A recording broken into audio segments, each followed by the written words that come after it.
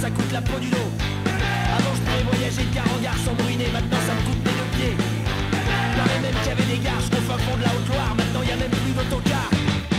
Privatisé, service service. Avant je pouvais mettre à l'école mon gamin pour trois fois rien, maintenant